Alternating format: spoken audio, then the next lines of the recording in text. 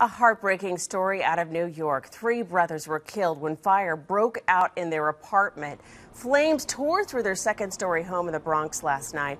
The three boys, who were less than five years old, apparently couldn't get out in time. A family friend says she tried to save them. Because the door was stuck, so I kicked it harder, and I fell back in the door open, and all the fire came out. And all I could hear is them hollering, and I tried to go in. But I couldn't go in. There was so much smoke and fire. It was a big flame. The whole front, the kitchen, everything was on fire. I couldn't get them. I just couldn't get the kids out. No, I heard them crying, and it was burning, and I couldn't get them. I couldn't get them out. I tried. Ah, three other people got hurt in the fire. The boy's mom and two young sisters did manage to escape. Investigators are trying to figure out what caused this fire.